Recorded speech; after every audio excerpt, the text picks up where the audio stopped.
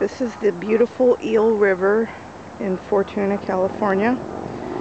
It's really wide right now because we got a flooding rain, which is a good thing because the salmon were landlocked and now they can move on to where they need to go. So that's a good thing.